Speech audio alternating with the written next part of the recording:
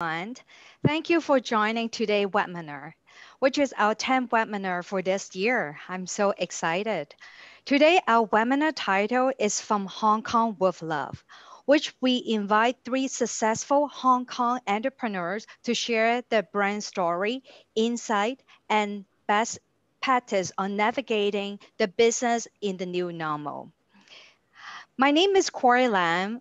Board of Director of the Hong Kong Association of Northern California. Also, I will be your webinar host today.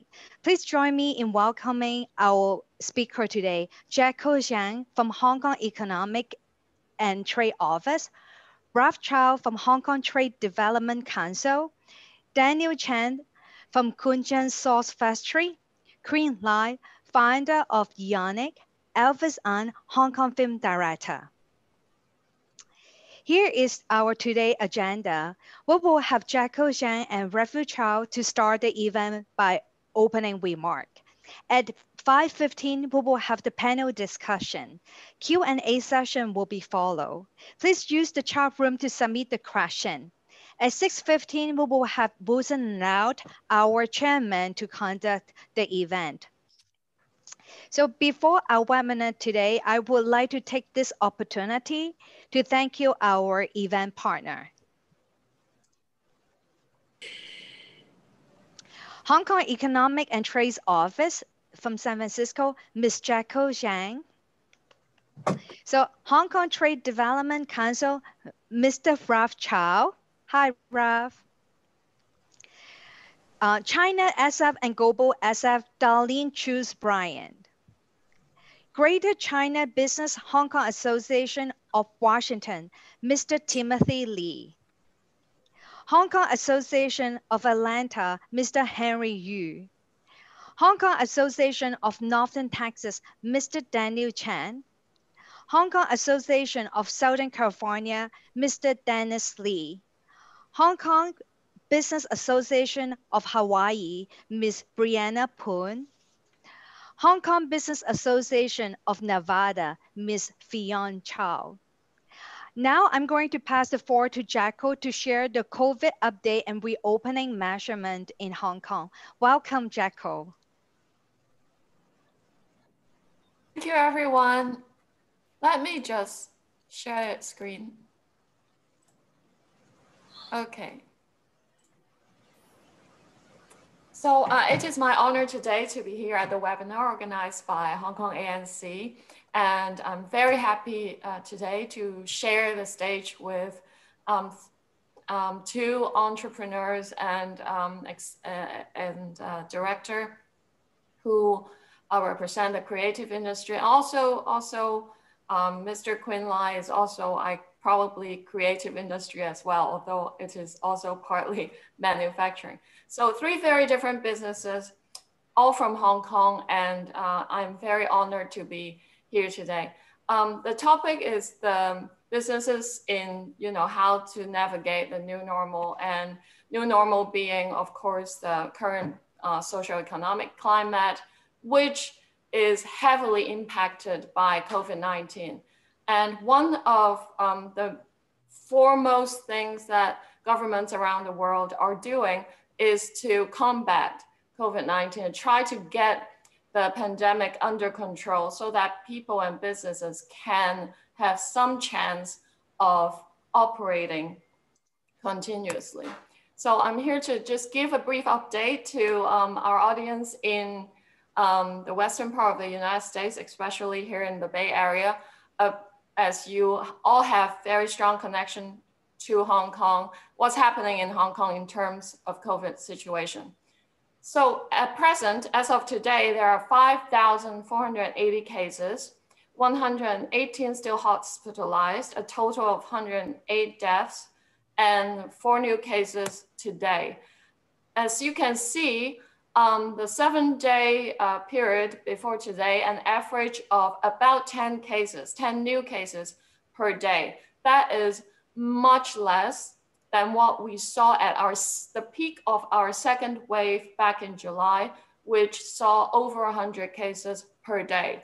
So we have um, more or less successfully wrestled down the number of new cases. And at present, um, the control measures include several aspects. First of all, the restaurants and bars, um, they're allowed to have dine-in between 5 a.m. and midnight. No more than four persons per table for restaurants, no more than two persons per table for bars. They can operate at a maximum capacity of 50%, and there is mandatory mask wearing in public space places. It is uh, worth noting that businesses, by and large, have not been required to shut down, and offices are and schools are um, basically uh, returning to normal operation. So um, another important infection control measure is early testing. Early testing helps to identify cases and for the um, health authorities to conduct track, trace, and quarantine.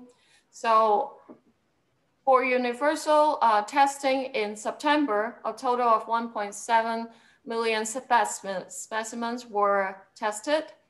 There are and have been free testing for symptomatic or people with high exposure risks in public clinics there are also free testing for targeted groups based on risk assessment. So for example, taxi and bus drivers, um, catering workers, uh, workers at market stalls, etc.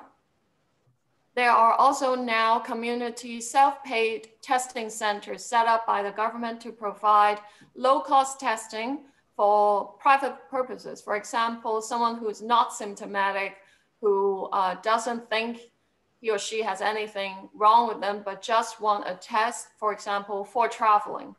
Um, they can get tested at these centers at a low cost of at most uh, 240 Hong Kong dollars. That's about 30 US dollars with test results within 24 hours. So with that uh, uh, situation more or less under control, the government's trying to gradually and cautiously open up the border. First, um, Hong Kong reached an agreement with Singapore to implement the travel bubble. Um, from November 22nd onwards, quarantine-free travel between Hong Kong and Singapore will be possible. Of course, subject to um, a list of conditions. For example, only designated flights that carry the uh, approved passengers who have negative uh, tests and they have to uh, follow certain procedures. But um, provided that they follow these procedures, they will no longer need to quarantine for 14 days at their destination, either in Singapore or in Hong Kong. Uh, from November 23rd, um, Return to Hong Kong travel scheme would allow Hong Kong residents who are coming back to Hong Kong from Guangdong province or Macau to uh, enter without being subject to 14 day quarantine. Also subject to uh, a list of conditions. For example, pre-departure online registration. There are certain quotas for uh, the two control points, how many are allowed in uh, every day. Negative COVID test within three days prior to entry into Hong Kong, etc. So for those of you who might be thinking about going back to Hong Kong, from the United States, um, there are also uh, measures that uh, you need to be aware of. So for example, um, number one, you need to have um, a test report in English or Chinese of a nucleic acid test for COVID-19. Of course, it has to be a negative test with your name, um, with a sample taken within 72 hours before departure and at a laboratory that is either ISO uh, 15189 accredited or uh, recognized by the government of the place where the lab laboratory is located. So number three, you need to have confirmation of a hotel room reservation in Hong Kong for you to quarantine in a hotel for 14 days after departure. And at the airport, when you arrive, you will also need to take another COVID test and wait for the test result before you can either leave the airport or leave the designated place um, that the airport asks you to be at while waiting for the result. And then you will have to quarantine for 14 days in the hotel. And quarantine at home or Airbnb or guest house is not allowed. So the, a list of hotels can be found in this website. If uh, I will share the website later if anyone's interested, um, because not every hotel welcome guests for quarantine purposes. But there are there is a list of hotels that would welcome guests and provide uh, good services that we I've heard good things uh, about the hotels being very nice to the quarantine guests and ordering food for them even if they don't have the local food apps. So that's something to uh, keep in mind. So if for uh, everyone if you want to know the hong kong latest situation here are some of um, the important websites that you can find all the information I just talked about there. If you have any questions, feel free to email us. Our email is right here. So thank you very much. And I'll give the time back to um, Corey. Thank you, Jacko. Thank you so much. Now we will have Ralph Chow to share the Hong Kong TDC upcoming event and trade service. Welcome, Ralph. Uh, thank you, Corey. Um, good evening, good afternoon, and good morning, depending on where you are. Um, first of all, I think uh, some of you may be confused um, about the roles of the Hong Kong Trade and Economic Office, uh, represented by uh, Jacko, and also the Hong Kong Trade Development Council, represented uh, by me. Uh, basically, the Hong Kong Economic and Trade Office, they are the government representative office in overseas. And our organization is a semi-government trade promotion body for Hong Kong. So that means that the salary I received is only half of that of Jacko's. Well, um, I think during the uh, pandemic, a lot of the businesses have been affected uh, and they are encountering serious um, uh, problems uh, due to the uh, lockdown of the uh, pandemic. But the message I would like to convey to you is to stay positive. I don't mean the test result of the COVID-19, uh, but just uh, to take the attitude to uh, look for good business opportunities, even though you are encountering the um, adverse conditions. As the old Chinese indicate, um, in every uh, crisis, there will be uh, opportunities. So we also uh, can see that despite the pandemic over the past half a year or so, there are some sectors that are enjoying good businesses. Uh, first of all, the uh, online shopping business or e-commerce business. Um, as you can see, um, I think Amazon.com has been benefiting a lot uh, from the pandemic because a lot of the households uh, during the lockdown, they still need to order the food they need and also the daily necessities uh, through the online shopping. Uh, likewise, in China, um, the Tmall from Alibaba, they are also enjoying very good business. Same as for the Hong Kong TV Mall in Hong Kong, uh, which provides the online sales service uh, through the online platform. Um, so um, the uh, Amazon.com Jeff Bezos, obviously you know he's the richest man on earth. Um, and uh, he has a net worth of over 200 billion US dollars, despite the fact that uh, his um, ex-wife had taken a big chunk of his asset, he's still uh, the richest man on earth nowadays. Another sector that has been uh, benefiting from this uh, uh, pandemic is the video conferencing app uh, like Zoom that we are using. Um, you probably know that um, the richest man in Hong Kong, Li Ka-shing, he had invested in Zoom back in 2013, uh, two years after the uh, company was established. And now um, Li Ka-shing is holding about 8.6% of the stake in the company which worth about 11.6 billion uh, US dollars. Um, interestingly, um, this amount is uh, constituting about uh, one third of Li Ka-shing's total personal asset.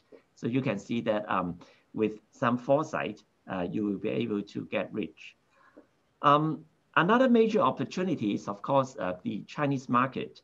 Uh, although China encounters a major problem during the most uh, severe uh, uh period of the pandemic in the first quarter, uh, the GDP growth was negative 6.8% at that time, but it quickly bounced back to positive in the second and third quarter. In the second quarter, the GDP growth in China was 3.2%, and in the third quarter, it jumped up to 4.9%. Um, so the tremendous uh, market in China is obviously a great opportunity for everyone from the US who wants to tap the uh, business opportunities there. Uh, particularly uh, some major US companies, they treasure the Chinese market uh, very much, such as uh, Apple, Tesla, and also GM automobiles. Um, China offers them the greatest um, overseas market for all their products. in particular, um, for the uh, Chinese market, the uh, Greater Bay Area is an area that uh, you can't afford to miss. Um, I think all of you who are in the Bay Area, you recognize that the Silicon Valley is basically the um, growth engine for the Bay Area. Uh, likewise, in the Greater Bay Area, uh, we have Shenzhen, which is regarded as the um, Silicon Valley of China, and it is also serving as the growth engine for the whole region. And you can also imagine that um, in the Silicon Valley, if uh, right next to it, you have uh, New York as the financial center, and also uh, Las Vegas as, as the uh, entertainment center, uh, then the um, overall attractiveness of the Bay Area will be greatly enhanced. Likewise, in the big, Greater Bay Area, um, apart from Shenzhen as the Silicon Valley for China, uh, we have Hong Kong as the financial center and a major business hub for the region. Uh, we also have um, Macau, which is the entertainment center in the region. And you may be aware that uh, the uh, turnover of the casinos in Macau had actually surpassed that of uh, Las Vegas already. Uh, apart from these major cities, there are also manufacturing centers in the Greater Bay Area, such as Dongguan and Huizhou and so on. So the whole area itself is a very, is a very important economic region. In particular, the uh, population there, uh, there are more than 70 million people and uh, about uh, double the size of um, the population in California. And most of the people there are regarded as the middle class income group with good purchasing power. So the Greater Bay Area itself is a very important uh, overseas market for the US companies. The um, Hong Kong Association of uh, Northern California is uh, one of the most important uh, networking platform uh, for all of you if you are intended um, to uh, approach the market in Hong Kong or the nearby regions. because um, in the US, we have 12 similar Hong Kong business associations with more than 3,000 members. So it is a very strong networking platform for all of you. And more importantly, the Hong Kong business associations in the US, they are under a greater umbrella of the Federation of Hong Kong Business Worldwide, which covers uh, 46 Hong Kong business associations around the world in 35 countries with more than 13,000 members around the world. So by joining the Hong Kong ANC, uh, you'll be able to um, get hold of all the uh, membership network under the Federation of Hong Kong Business Association worldwide. As for the Hong Kong Trade Development Council, um, we are a trade promotion body for Hong Kong. So uh, we maintain a very strong data bank, um, capturing more than 130,000 Hong Kong companies. Uh, so if you are interested in making use of the Hong Kong platform in approaching the Greater Bay Area or the uh, ASEAN market, uh, we'll be able to refer to you the most uh, useful uh, trading partners or your potential um, business um, uh, partners who can help you to uh, promote your business to the um, regional market in Asia Pacific area. And the TDC also organizes a lot of international trade fairs and also international conferences to promote product trade and also services trade. Uh, but of course, during the pandemic, a lot of these uh, activities have gone virtual. Uh, and for the upcoming events, uh, we have, first of all, the Belt and Road Summit, uh, which will be held on November the 30th to the December the 1st, which offers you the latest update on the opportunities um, that can be captured by you in the Belt and Road Initiative. Uh, apart from that, uh, there is the Hong Kong Forum, which is an annual meeting for the Hong Kong Business Association members. And again, this will go virtual and will be held on December the 1st to the 2nd, Hong Kong time. And uh, for any members of the Hong Kong Business Association, uh, you are most welcome to attend this Hong Kong Forum. And um, uh, if you have any questions, you can also always uh, uh, send your inquiry to the Hong Kong Business Association nearby. And of course, in California, uh, we have the Hong Kong Association of Northern California and also Hong Kong Association of Southern California. So um, that concludes my uh, presentation and the remarks today. So back to you, Corey. Thank you. Okay, thank you, Ra. Thank you. Thank you so much. So again, we have a Hong Kong forum is coming up. Definitely, if you're interested in that, uh, please contact the Hong Kong Association uh, close to you. Definitely, you can contact uh, Yanni or myself for more information as well too. Now we are so excited to meet our first panelist, Daniel. So let me give uh, some information uh, about Daniel. Daniel is the fourth generation of Koon Chun Sauce Factory. Before that, let's watch a short video about Koon Chun that we prepare. So it will be around two to three minutes and uh, it will be in Cantonese. But just in case if you have any question or you don't understand, you can always using our chat room to ask any question. You can start now, Yanni. 五真酱园嘅灵魂啦吓，应该就喺个人嗰度，大家互相尊重、互相了解，冇咗任何一 part 都会唔同。我系冠真嘅第四代，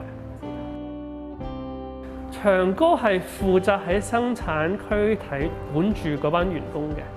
我喺冠真今年就四十一年，有種好深嘅感受。當時嚟到冠真壯園啦，佢前邊咧就有個好大嘅花園嘅。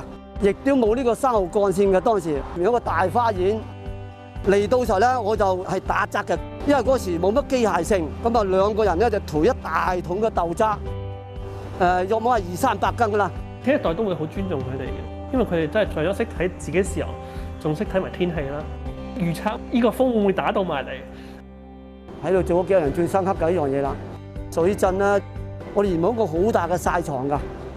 幾個鐘頭咧就變咗一個好大嘅魚塘，啲魚都走埋入嚟。頭先落雨，佢見嗯呢個人應該唔會落嚟你呢度，真係冇。我未出世，佢已經喺度做咯。咁你冇可能唔信佢啊嘛？係咪先？中學啊、大學啊都喺美國讀嘅，啊人類學同埋歷史嘅喺哈佛嗰度。我爸爸主要就唔喺香港嘅，其實最想我翻嚟誒醬園嗰度咧係我爺爺零開始嘅，將冠真啲歷史咧就抄翻晒出嚟。佢哋之前咧都冇乜人理嘅，咁但係我覺得係有個故事喺後邊咧，俾到人哋一個親切啲嘅感覺咯。誒，第一代係我太爺啦，第一次世界大戰之後啦，附近啲親戚啊、朋友啊或者係鄰居啊咁嘅夾粉就開間醬院。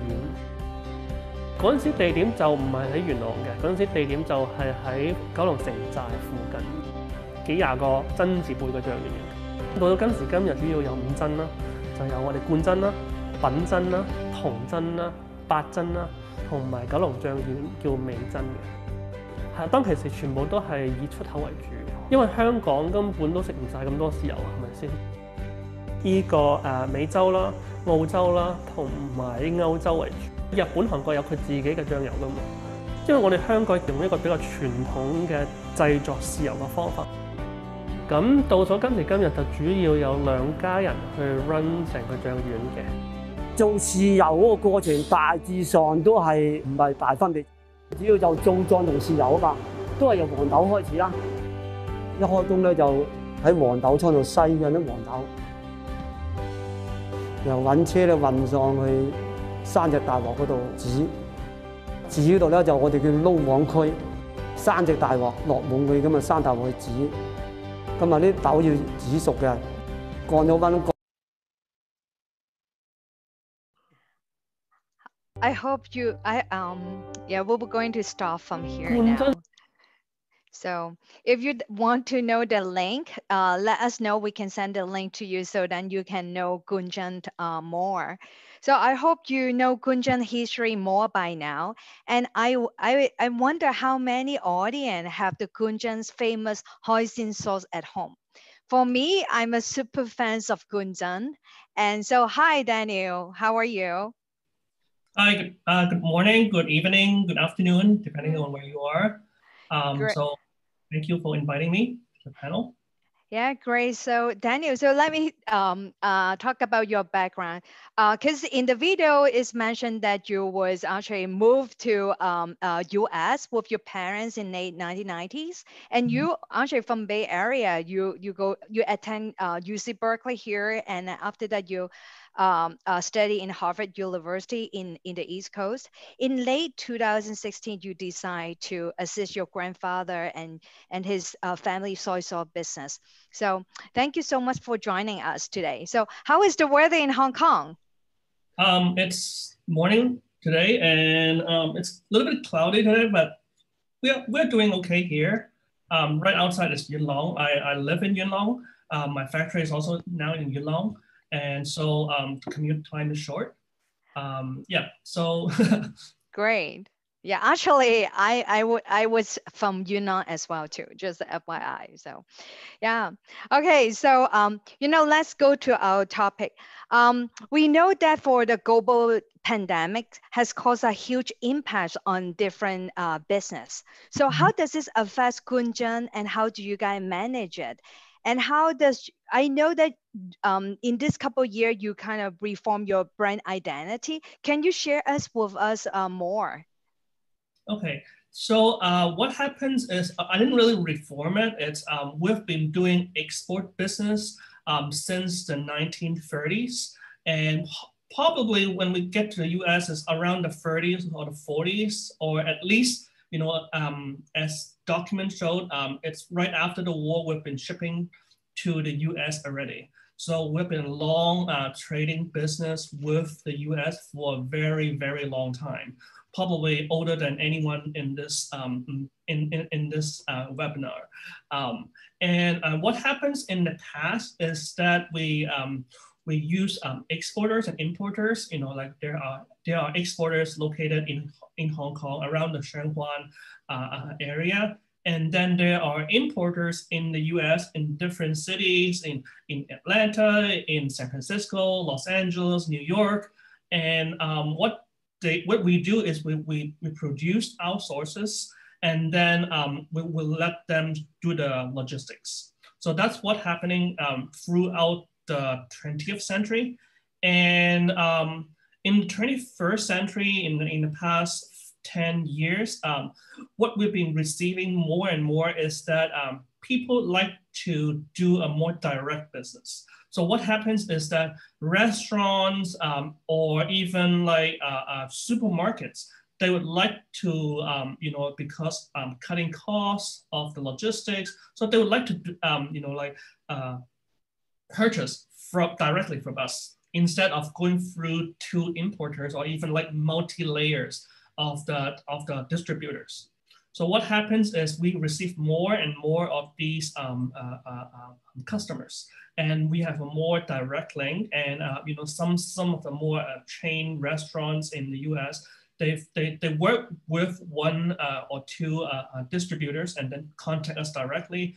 And because of the food safety issues, since the early 90s, um, we've been, you know, like uh, updating our uh, brand identity through food safety in the, in the past 20 years. So what happens is that nowadays you have a lot of, you know, like food safety issues and then also a lot of food regulation, uh, uh, food uh, regulations from the government.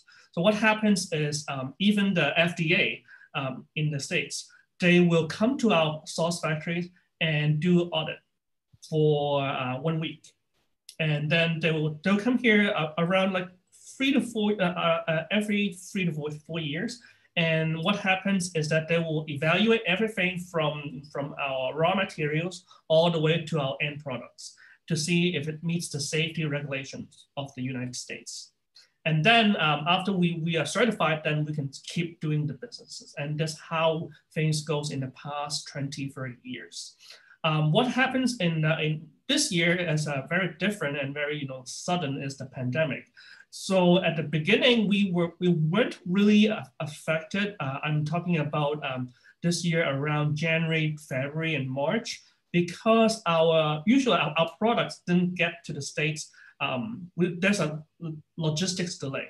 What happens is that um, the shipments, you know, they go into the cargo container. The um, the shipping goes to LA or New York. It takes you know like 20 to 30 days for them to get to New York, uh, the ports in New York. So what happens is in the beginning, in February and March, we were quite worried that, you know, like our, our, our, our customers in the States might, uh, because um, back then around February, things were, weren't that bad. So our, our things are still going to the States and um, we have around 50% uh, of our products going to the States. So it's, so it's, it's a huge market for us. Um, the rest you know, included Africa, uh, Europe, uh, Middle East, um, New Zealand, uh, South Korea, and then also in, in the Southeast Asia, some of the countries. So 50% uh, of the business going to the States is a huge market. And we were really affected when the States um, um, started to do the lockdown around April and May. And that's when we received um, literally like zero, no order at all around that time uh, for about two months. And then because um, cities start to, you know, like people, you know, like at the at, around summertime, people start going out again, and then we uh, receive some of the uh, orders, and things weren't getting back to um, what you know, in 2019, 2018, but you know, we are getting there. And I guess it's fortunate that we are a food factory and, you know, like at the end of the day, everyone needs to have food you know, you cannot just survive with water and bread every single day. So, you know, for us, it's a little bit fortunate because we are not a lux luxury brand or, you know, like not a, not, we are essential. We, we are food. So people needs to, to, to dine either at home or even, you know, in a, in a restaurant setting.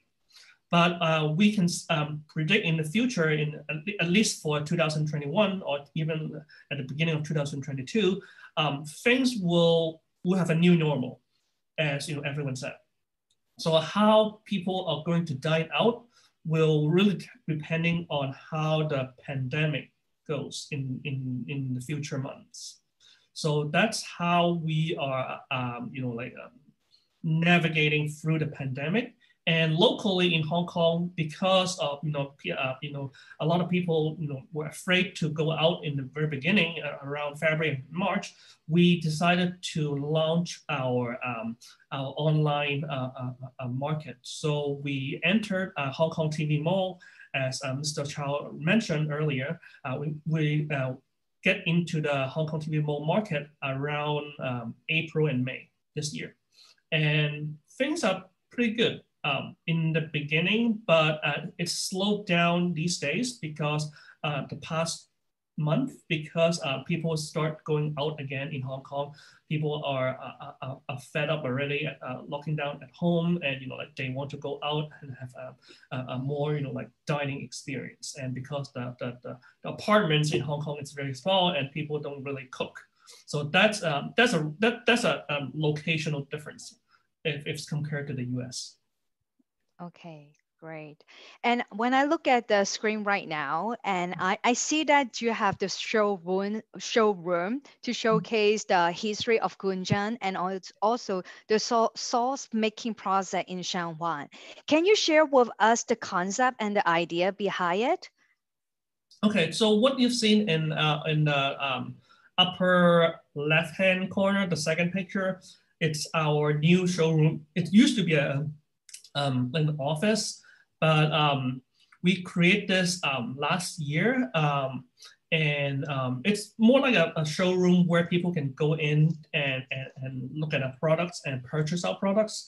And we are thinking, besides our products, we will also feature other made in Hong Kong products in this showroom in the near future, probably in next year or the, the next few months, we'll uh, put in more uh, local brands, um, food products, um, inside. Uh, also, we're thinking about um, getting a, a, small freezer so we can people can can get a locally made uh, fish balls or like meatballs, these kind of things.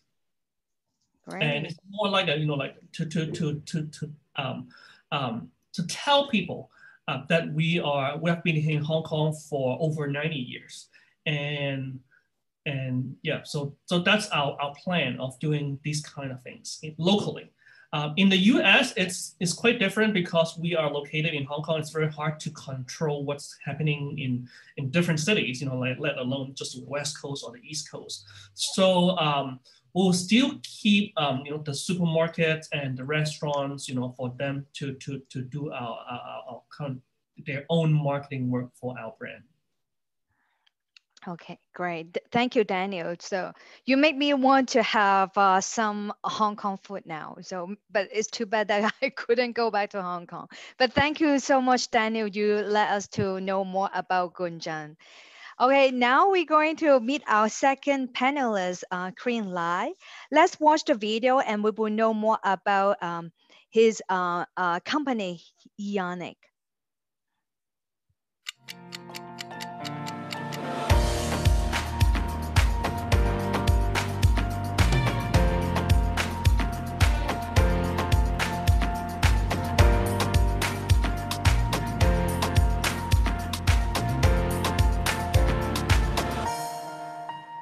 Founded Eonic based on one belief.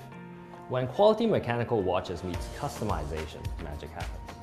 Part of that magic is that now watches don't only carry the values of craftsmanship or brand legacies, but they carry everyone's individual stories.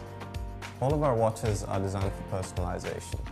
That's very different from just designing a watch, because a personalizable watch needs to look good on its own, but it also needs to be able to incorporate the customer's story without taking the spotlight away from that story. Thanks to our software team, designing your own watch has never been easier. Our watches were used as wedding gifts, heirlooms, so they are actually important to a lot of people around the world. And that compelled us to go for a quality standard that is way beyond any fashion watches. It needs to be more than a seasonal fashion statement. It needs to be meaningful and timeless. So that is why when we chose our components, we focus a lot on getting the quality and durability um, to make sure that our watches can last. And with many iterations and with the help of our international partners, we are now very proud to offer watches that can easily last decades. At Eonic, we believe that stories should be told one by one, and that is why a single watchmaker will craft, assemble, test and package the same timepiece. We know that it might not be the most cost efficient, but we really believe that it's the only way to convey your story. We have shipped over a thousand watches to 30 plus countries. With the experience, prototypes for this new product, and our watchmakers ready to make your watch, we now need your help. With your help, we'll be able to start making these beautiful, unique timepieces for everyone.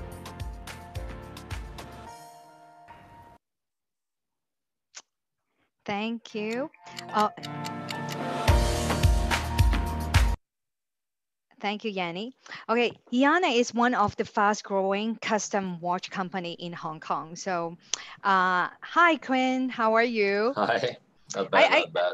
I can tell you that I did order from your your your company in last 30 days, so I'm one Thanks. of your fans. All right, um, how are you? Not bad, not bad, not bad.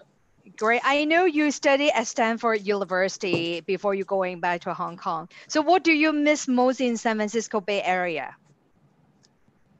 I, I miss driving. I mean, back there, driving is when I, it's like when I feel pressured, I want to go relax, I go driving. In Hong Kong, after you drive, then you need to go relax somewhere. So the other way around. Okay, good. Okay, got it. Okay, so let, let me ask you some question now. So, you know, due to the global pandemic, many business focus more on e-com, um, e-commerce and digital marketing. What does make Eonic stand out from the competitor? How does Eonic transition its business model? Can you share with us? It's actually quite an interesting story. I thought um, I'll share a screen real quick to show you guys what my what we did last year, which actually was like in the worst timing. So we were we were we almost basically I almost closed shop, I'll just tell you that. We we we borrowed money, we wanted to go into offline experiential shopping um, before last year, mid-year. So it was Q1, Q2. So and after that we have the the social the the revolution, the movement, and after that we have COVID. So we basically had a good one year period where we took hit for anything offline. Now, this screen that I just shared, um, it's the workshop site of our of our brand. So the video that you guys saw is like a really old one. When I saw that, it's like wow, brings back time. It's like a good four years ago when I when I did this. Um, so so I'm, I it's no longer on Indiegogo, so guys don't go search on Indiegogo. Um, but it's it's interesting to look at when I said those words when I care about those things, and now it has turned into this company today. It's no longer just 30 countries. We we ship to 100 over, or we we ship to places where the address is like only country and then city. So there is no street um, no building numbers. And the reason is because that guy owned the city. so we ship a watch to that city and it arrives at one person's house, apparently. But yeah, so we do ship to play different places. But back to the story, last year we shifted a lot of things offline. That was due to the forecast of Facebook getting more expensive, more and more people going to esport. Um, so we thought, okay, we have to go back to the old school way, experience and then offline um, where people can try out different things. So we did a lot of tech-enabled um, offline experience. Like we did videos, we did QR codes and everything to link um, the experience where people can learn about watchmaking without our staffs being too trained in the in the space. So we don't while we can have like 20 to 30 people making watches at one go, we don't need to have like 10 plus watchmakers there guiding them on the steps. So that's kind of what we did. We spent quite a bit of money and then most of it. It's not like it's down to drain, but um, we basically couldn't sell anything. Um, creating a product without the ability to actually go to the press about it, meaning you you're you're kind of shooting your it's not like shooting yourself in the foot. You you you're stuck. You cannot do any marketing on it. So so we were we were pretty stuck last year. Um, so then we thought of we shift everything back online. That's what we did uh, earlier this Monday. No, no, not Monday. Sorry, January um, in February. We did we we took out our whole marketing effort. We rebuilt it from ground up. we reset our target, and then we started a brand new brand as well. Uh, and the new brand that I built basically is um, DIYWatch.club. And this is where I practically took an Eonic offline shop experience, and then I put it into a package, and then I just ship it to everyone. So this is, um, by the way, just disclaimer, right? So I help out big businesses before. I know that there are big businesses taking hit these days. I'm also in the in the in the watch and clock AC. So um, when we when we do the meeting over here trying to help out brands, we do know that it's a very difficult time. Um, I have the luxury of having a lifestyle business that's kind of small in scale, so I can basically just take down components and start new things within months. Um, so I'm aware that it's difficult out there. Um, don't want to make this sound overly easy, but for for for what for ourselves, right? We basically pack our offline experience, ship it ship it to around the world, and because people are stuck at home, they basically took up on it like real quickly. So now our new brand the sales is catching up to Eonic. And after a while with the marketing revamp, Eonic is also going back a lot more online and then the growth is also quite significant. So this year, starting from around February, I think, until now, if both brands combined, we grew over 300%. If it's both brands combined. If it's just Eonic, we went around 150, I would say. So um, it's been we are cautious to know that this is not going to last forever. So we took on the opportunity. And then now we are immediately shifting our marketing efforts again to pre- plan for the next, not like the next wave, but the next change in the economy. When people can go back on the street, but with the awareness of shopping online, right? A lot of people pick up that habit of shopping online now. They will likely keep part of it. They might not shift completely away from it. So we're shifting our marketing as well, just knowing that things would change. But yeah, interesting time to be in business. Great, good to know. So, Quinn, I know that you be you run different type of business as well, because you I know that um, you know you organize the workshop for corporate and startup training. Can you share with us what you do? And also, um, you mentioned uh, in your workshop that is about design thinking, and this is not a method, it's a style. Maybe can you share with us more about it? Well, uh, a bit difficult to run a workshop in this short time span, but no, you can um, give us a, a concept maybe for few minutes. This is the challenge because you only have few minutes. Um, the does so my background, I, I did design thinking in Stanford. Um, in fact, I work for professors like um, Larry Leifer, um, Steve Blank, uh, and then Tom Kosnik. So it's it's it's quite fun to actually see that even within Stanford, different professors have different interpretation of design thinking. So I think that's if you guys are looking at design thinking, know that even within Stanford we have different school of thoughts. And once you go into East Coast and West Coast, now we have very different school of thoughts, but they're all very practical. So MIT and Harvard, for example, have a different approach as well. Now, just look at entrepreneurship. We have a like take two extremes just to show you guys how different it can be. Within the, the um, Larry Leifer camp, so kind of the ME310 um, exhaustive idea generation camp on, on design thinking, we want to prototype within seven seconds. So prototype not like making a product, but you can draw out something on a piece of paper with a Sharpie. Not a pen because you're gonna have too much detail. Um, use a Sharpie and then you can try to prototype something. Draw a screen out and ask people, would you like this or not? Now, there is something called disciplined entrepreneurship from MIT, which is also design thinking applied on entrepreneurship, which tells you to do like a, almost like a 10 by 10 or 14 by 14 grid on different persona, different possible market segments, and then you apply to each one of them um, different formulas to figure out whether your product would fit that persona. You can see that this is completely different way of applying design thinking. So know that design thinking uh, can be can be can change into very different things. But we all believe in one thing though, is that human are well ambiguous and we are customer centric. So we serve human first. We don't think too much on the on the numbers, but we need to make things viable and be feasible, but we want to make things desirable. So that's kind of the design thinking background. So a little bit along the way, that's kind of why I I shifted my business from offline which is not viable, business viable at the same, like business viable at that time. It's feasible, it's not viable, to something that's like addressing a pain. You're stuck at home. I don't know what to do in the weekends.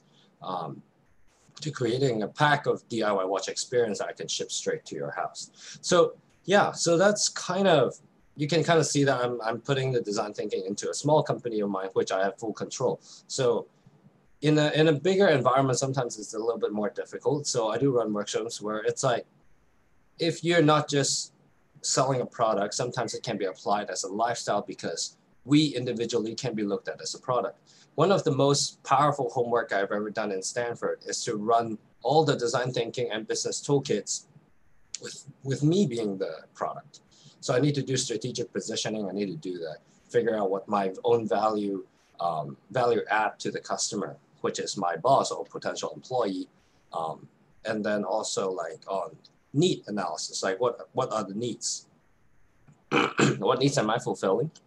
What desires am I fulfilling?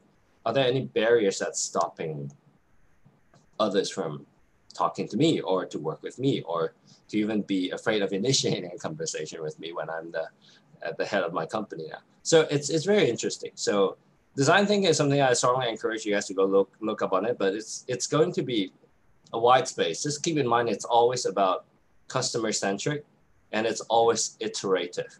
With these two mindset in in in your head, then you can kind of see why the different frameworks, you always have some sort of loop, like agile, uh, like lean, they always have some sort of loop. But at the end of the day, there is always one piece that's going to be about the customer needs and the behavior.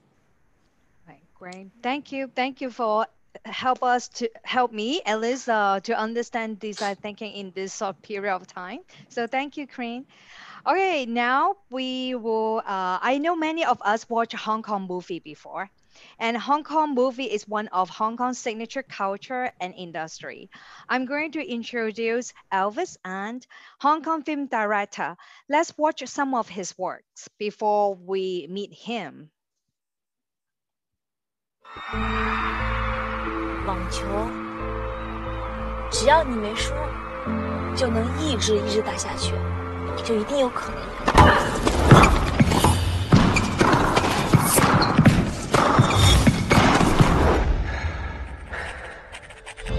我打不了球，就凭你，还留在这儿干什么？你一定会回来的，我相信你可以做到。我现在拥有的，才是最适合我的。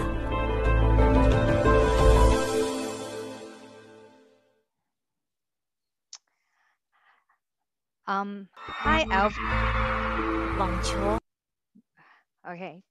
Okay, Alviss moved from Hong Kong to California in 1991. He graduated from UC San Diego. He gave up his career in Silicon Valley to, to pursue his filmmaking dream in 2002. In 2016, he graduated from Master of Fine Art in Film Directing in Beijing Film Academy. Hello, Alviss. Um, everyone. Hi, thank you for yeah. Good morning. Good morning. It's evening in San Francisco now here. Yeah. yeah so thank you for uh, being with us today. Yeah. Thank you. My honor.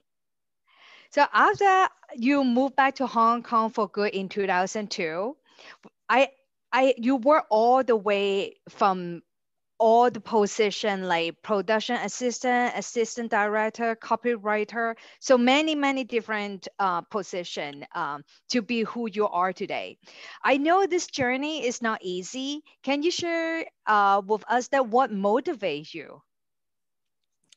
Um, I think like many uh, artists in the world, um, there are three words um, to motivate me dream, mission, and legacy.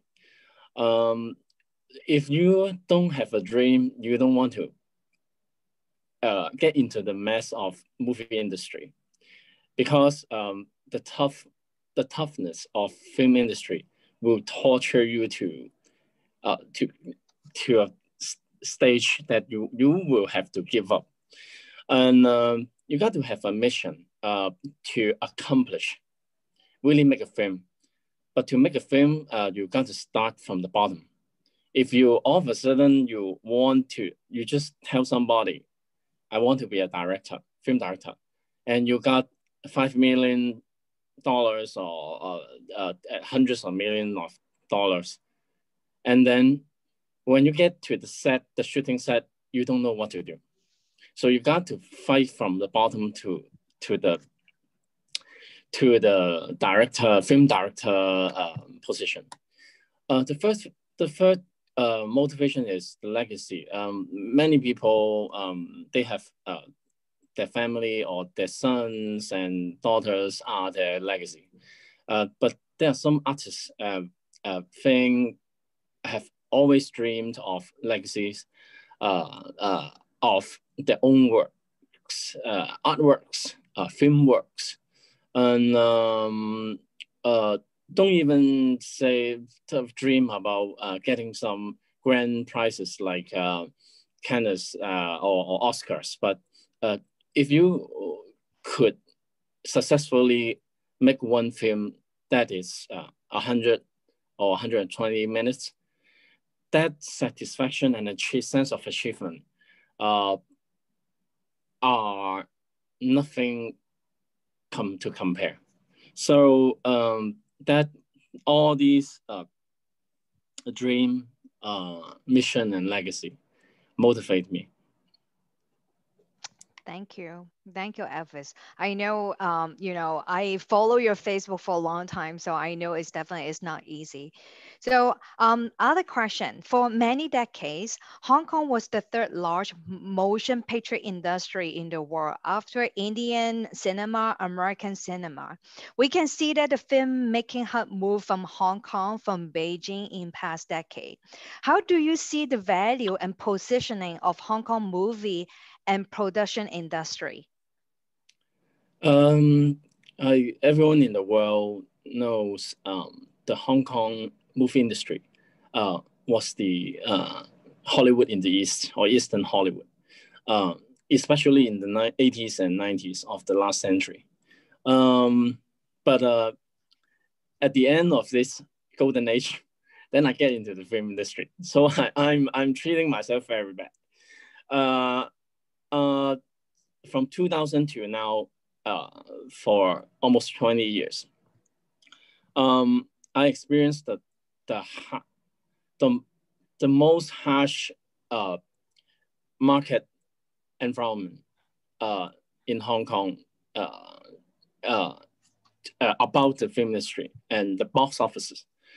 Um, but how come I can I could still fight to the end like like now until now I haven't given up is that uh, uh, the market uh, still exists, but not in Hong Kong. Um, uh, so what what have Hong Kong filmmakers done uh, during this depression, the economic depression of the film market, is uh, I think just like Daniel and Quinn said, um, people and humans are the most important, the most essential factor of the industry is um, wherever the market is. Hong Kong filmmakers are one of the most toughness fighters in the entire world film industry.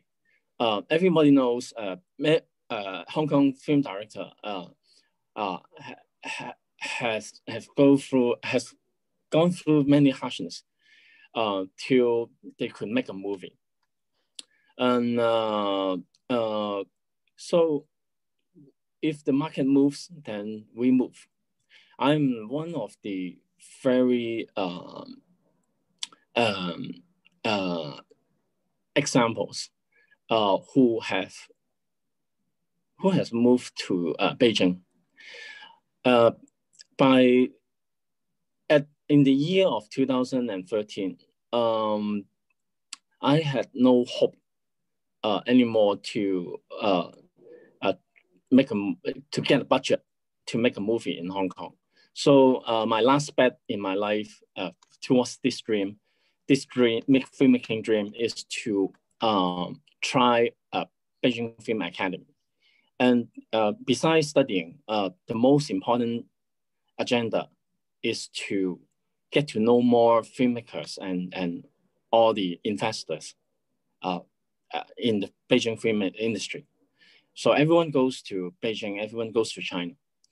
But uh, what, what, what's the legacy of Hong Kong filmmakers uh, still are worth?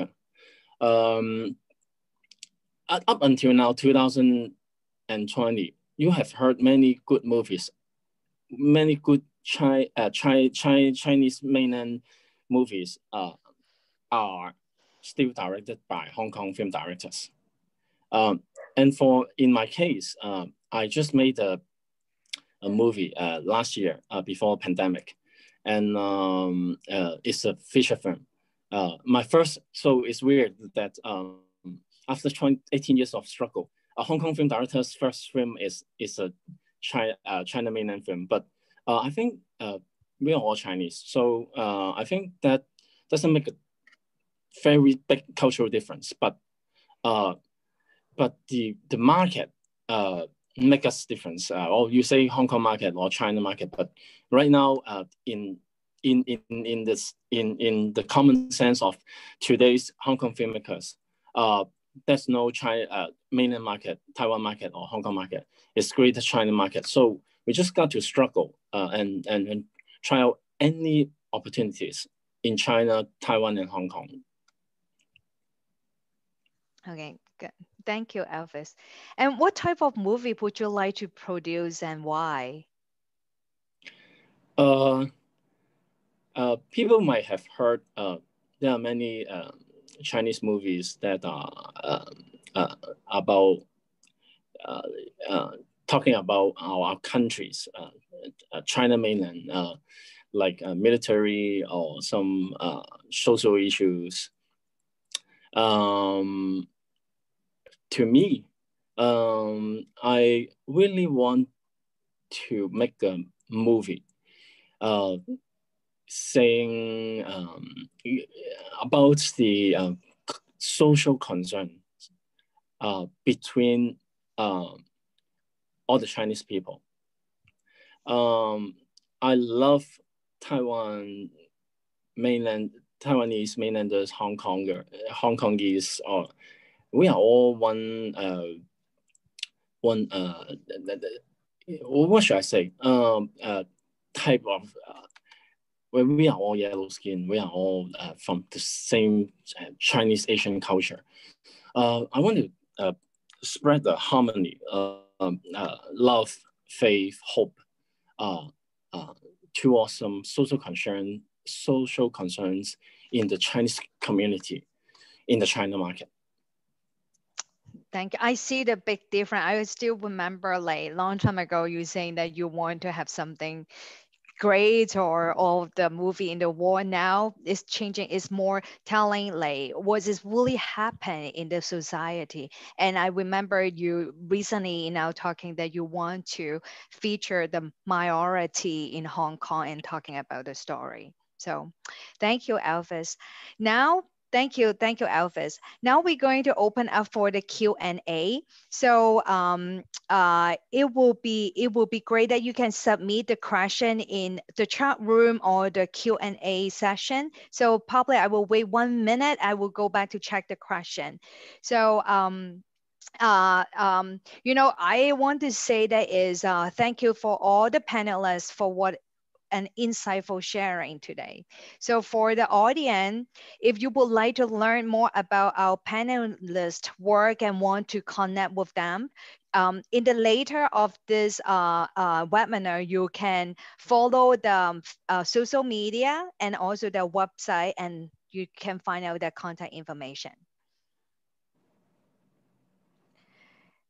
So, okay, I have the first question from from Johnny. This is the question for Quinn. Quinn, so um, so this question for you. So sure. uh, from Johnny, the Rosa. Uh, interesting business model. What do you target audience? How big a group like the DIY watch, and how do you sustain the loyalty? Oh, okay.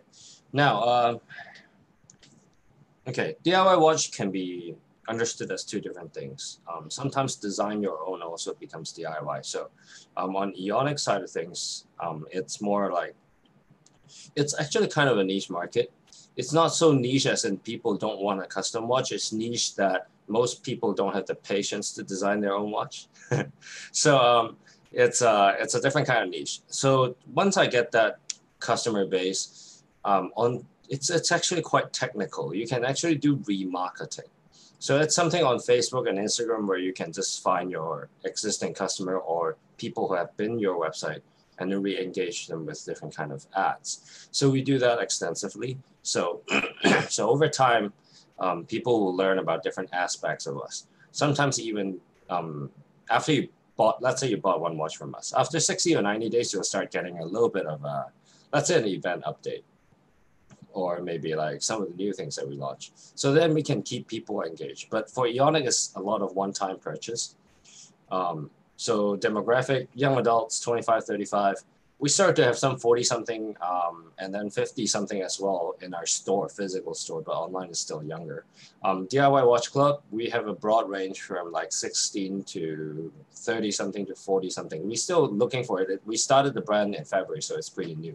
Now, DIY Watch is a lot easier to retain my customer. I just give them an upgrade component, then they come back. so they come back and then they buy a new case. So all of a sudden you, you spend like maybe 40 bucks, even cheaper, I can't remember. And then you can change your watch into a different color. So that, that actually gives them the, the hobby of tinkering, right? So it's kind of like putting things together and then hacking it, modding it. So that, that, that automatically by default was a more recurrent model, I'd say. Oh, thank you, Quinn. Thank you, Quinn. Uh, now I have the next question is um, uh, for um, Alviss. So um, um, Korean Korean cinema or pop music has taken off in the U.S. Now you really can see that it's really popular in the U.S. now for the teenagers singing the Korean songs. How can Hong Kong film and pop do that too? How could uh, Hong Kong film or uh, pop music do that too to have the, the big influence? Uh, first of all, Hong Kong's pop music uh, uh, already had a, a huge influence uh, in the 80s and 90s of the last century. Um, but for film, uh, I think uh, Hong Kong film in makers and industry have not died eventually.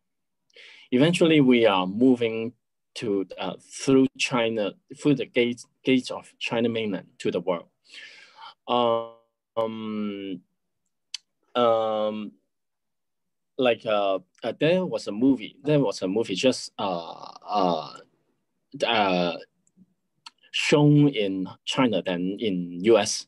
It's about the 800 uh, uh, soldiers uh, defending Shanghai uh, in the in Second World War, and uh, and there are some Hong Kong filmmakers in that movie. Uh, so uh, I think I think about Korean, uh, like the movies can could get a, a an Oscar of Best Picture.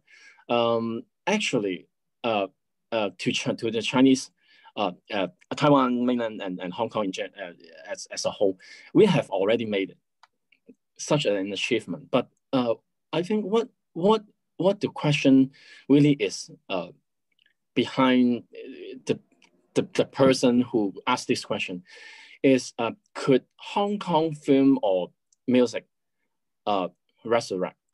I think that's the question. And it really depends on the makers, uh, uh, how they perceive the market, uh, uh, how to strike. Um, just like Japan, right? Um, Japanese uh, movies and, uh, and, and songs were very hit in the 70s and early 80s. But it, they, they could not continue uh, in the late 90s and 2000 because they were replaced by Hong Kong, the hype. And, uh, and but but the Japanese movie, there was one Japanese movie got the grand prize of uh, a Golden Palm in Cannes, uh, France, uh, like years ago. Um, so, so uh, to Hong Kong people, uh, we, we are following something like the trend of the Japanese uh, entertainment industry. But uh, uh, uh, as long as we, we don't die, there will be a, a movie or some song will will will got some good hits in in the world. I yeah. I, I believe so too. So I am supportive for Hong Kong culture. So thank you, Alviss. Thank you. So my next question is for Daniel. Hi, Daniel.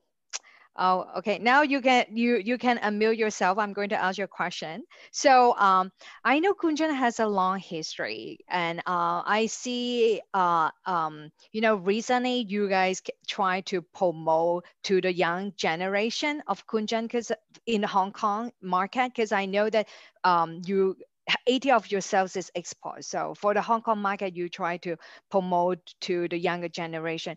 How, how do you do that now? So what is your strategy?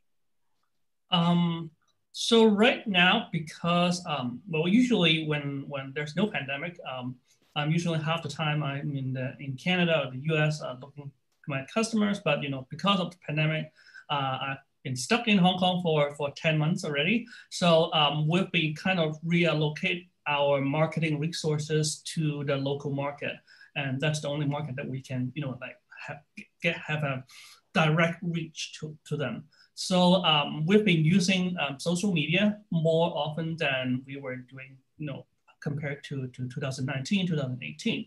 So um, some of our strategies on uh, social media will be um, because, you know, as you know, social media, when we're talking about Facebook or Instagram, these are, uh, uh, uh, you know, like, I guess like social media for is for the young younger generation. I mean, older ladies, you know, they, they also use Facebook, but not as much as the younger generations. Um, some of the strategies we've been doing is that uh, with uh, as I uh, study history, you know, before, so I dig up some of I, I work with the University of Hong Kong with some of our professors. Um, they were some of my friends and colleagues back at, at school, and uh, we dig up some of the history historical re, uh, resources that we, we can find in the libraries. And we use those to, you know, like to reach out to, to kind of do a retro feel to it. Um, if you go to our Facebook uh, pages, you can see um, the advertisement from the 1950s. So we are doing this kind of like retro feel to our like our in incorporation to the made in Hong Kong, you know, like that um, uh, uh, um, you know, like kind of rebranding kind of feel to it. And also, we are also doing some kind of recipes. Um, we've been doing for several years already. And I guess we'll do more uh, for the local market, targeting the local market.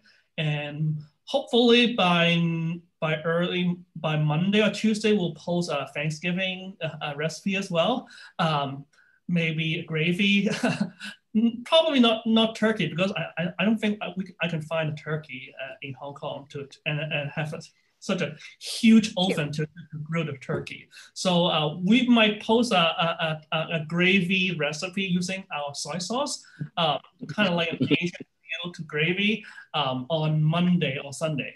So that's kind of like what's coming uh, coming up. Um, and we also want to work with you know like different um, festivals and you know like celebrations. We have different kind of recipes to it.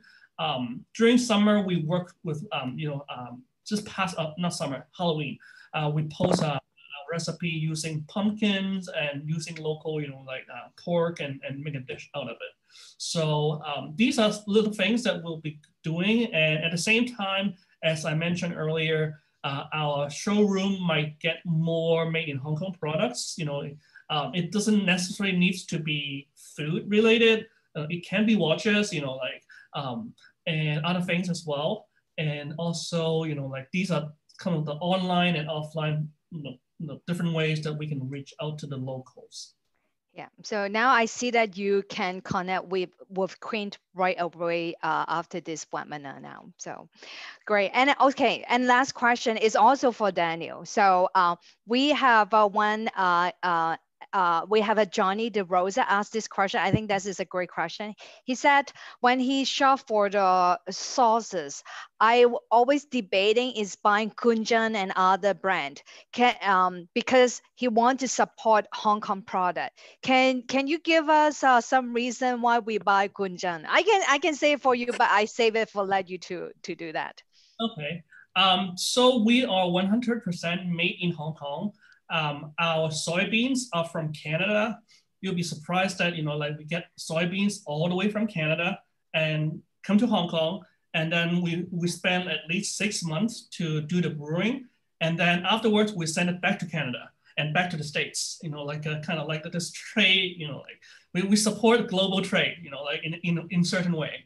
And um, for the other brands that she mentioned, um, um, that is a Hong Kong brand, but their factory is not located in Hong Kong. It's located in mainland China.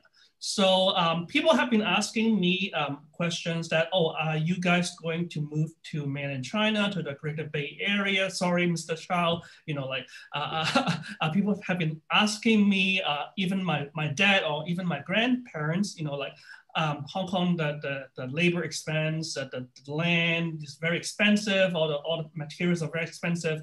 Are you guys going to move to somewhere else? Um, but you know, because I need to respect my great grandfather, my grandfather's um, view that we will still maintain in Hong Kong. We won't move it somewhere to you know to Guangdong or, or Guangzhou um, because of our connection to Hong Kong.